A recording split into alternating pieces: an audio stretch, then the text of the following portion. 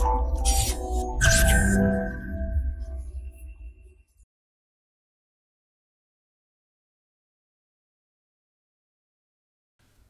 friends this is Gautam Pandey coming up with the next round of new simplified तो आज के video में हम बात करेंगे the weapons of mass destruction and their delivery system amendment bill 2022 के बारे में। तो फ़र्स्ट ऑफ़ ऑल जरा देखते हैं कि अमेंडमेंट बिल 2022 न्यूज़ में क्यों है। देखिए रिसेंटली लोकसभा में the weapons of mass destruction and their delivery system prohibition of unlawful activity amendment bill 2022 को इंट्रोड्यूस किया गया था और ये लोकसभा से पास हो चुका है सिक्स ऑफ़ अप्रैल को इंट्रोड्यूस किया गया था फिफ्थ ऑफ़ अप्रैल को। और जैसे ही ये राज्यसभा से पास हो जाएगा, ये अमेंडमेंट माना जाएगा। तो बात है ये क्योंकि ये अमेंडमेंट बिल है मीन्स ऑलरेडी किसी एक्ट में अमेंडमेंट करने की बात कर रहा है। तो इस वीडियो में हम समझेंगे कि कौन से एक्ट के अमेंडमेंट की बात की जा रही है और साथ ही साथ क्या क्या अमेंडमेंट होने वाला है उसको भी डिस्कस करेंगे और ये भी जानेंगे कि वेपन ऑफ़ मास डिस्ट्रक्शन क्या होता है। जिसे डब्ल्यूएमडी हम कहते हैं, वो क्या होता है उसके विषय में भी डिस्कस करेंगे। तो चलिए शुरू करते हैं। जरा समझते हैं कि किस ये जो बिल लाया गया है, किसमें अमेंड करने की बात करता है ये। देखिए, ये बिल अमेंड करने की बात करता है the weapon of mass destruction and their delivery system provision of unlawful activity act 2005 means W के लिए ऑलरेडी हमारे पास एक एक्ट था जो 2005 में हमारे पास बन चुका था कानून। उसी में अमेंड करने की ये बात कर रहा है बिल। और ये बिल क्या क्या अमेंड करने वाला है, वो समझेंगे ही। इससे पहले ज़रा हम जो 2005 का एक्ट था, उसको ज़रा समझ लेते हैं, तब थोड़ा आसान हो जाएगा हमारे लिए समझना कि क्या अमेंडमेंट की बात की जा रही है, क्या कम, कमियाँ थी इस कानून में जिसे अमेंड किया जाएगा। देखिए 2005 का जो एक्ट है, वो प्रोप्रिएट करता है अनलॉफुल एक्टिविटी को। ये अनलॉफुल एक्टिविटीज़ क्या हैं? मीन्स ऐसी एक्टिविटी जिसे आप किसी डब्ल्यूएमडी को मैन्युफैक्चर करते हैं, ट्रांसपोर्ट करते हैं या ट्रांसफ़र करते हैं, इन सारी चीज़ों को ये प्रोवाइड करता है, बैन करता है। तो एक एक करके ज़रा कुछ इंपॉर्टेंट जो सेक्शन है 2005 के एक्ट को, उसको डिस्कस कर लेते हैं। देखिए, जो 2005 का एक्ट है, उसके सेक्शन एट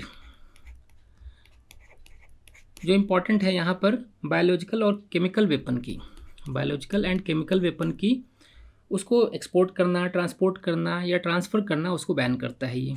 और सेक्शन अगर इसी की नाइन की हम बात करें तो सबसे इम्पोर्टेंट ये है, ये कहता है कि कोई भी पर्सन जो कोई भी, जो बायोलॉजिकल वेपन है केमिकल वेपन है, ना उन्हें एक्वायर कर सकता है, ना ट्रांसफ़र कर सकता है। और साथ ही साथ, अगर किसी नॉन स्टेट एक्टर को आप, मान लीजिए ट्रांसफ़र करते मान लीजिए किसी टेररिस्ट को ट्रांसफ़र करते हैं तो ये ऑफेंसिव माना जाएगा गैर कानूनी माना जाएगा। तो ये सेक्शन नाइन भी बहुत इंपॉर्टेंट है, जो ट्रांसफ़र को बैन करता है। देखिए, अगर कुछ इंपॉर्टेंट और देख लें, जरा हम इसके सेक्शन को तो सेक्शन एलेवन ये एक्सपोर्ट को बैन करता है।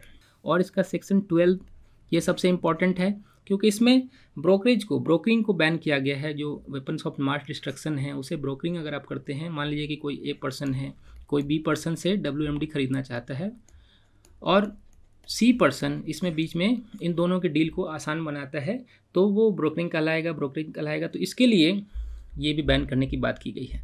देखिए, इसी सेक्शन ट्वेल्व में अमेंड करने की बात करता है, ये बिल जो बिल इंट्रोड्यूस किया गया है, इसी सेक्शन ट्वेल्व में अमेंड करेगा। तो क्या अमेंड करेगा, उसको भी समझेंगे। उससे पहले जब हम इतनी देर हम समझ गए कि वेपन ऑफ़ मास डिस्ट्रक्शन क्या होता है, उसको जरा समझते हैं कि ये वेपन क्या है। देखिए देखिए, अगर वेपन ऑफ़ मास डिस्ट्रक्शन की हम बात करें तो कोई इंटरनेशनल लॉ कहीं से भी कोई ऑथोरिटेटिव डिफिनेशन होता है ना, ऐसा कोई डिफिनेशन नहीं है इंटरनेशनल लॉ में कहीं पे भी। अगर इन 2005 के एक्ट की भी अगर हम बात करें तो वहाँ पर भी देखिए बस इतना कहा गया है कि weapons of mass destruction are biological chemical और न्यूक्लियर वेपन है। मीन्स ऐसे वेपन जो बायोलॉजिकल हैं केमिकल हैं न्यूक्लियर वेपन हैं, उन्हें mass destruction weapon of mass destruction कहा जाएगा डब्ल्यूएमडी कहा जाएगा। देखिए, यहाँ पर इंपॉर्टेंट ये है कि यूएसए की गवर्नमेंट द्वारा एक डिफिनेशन दिया गया है। इसमें कहा गया है कि डब्ल्यूएमडी वैसे वेपन होंगे जिनसे लार्ज स्केल पर पीपल की डेथ हो सकती है।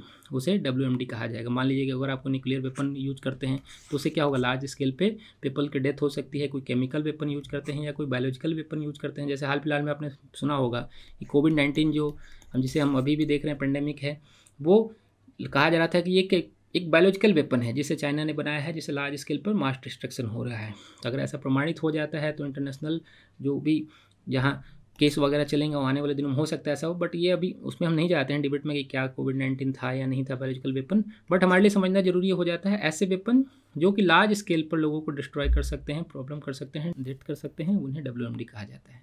अब बात करते हैं जरा हम, जो अमेंडमेंट बिल लाया गया है, उसके की फीचर्स पे।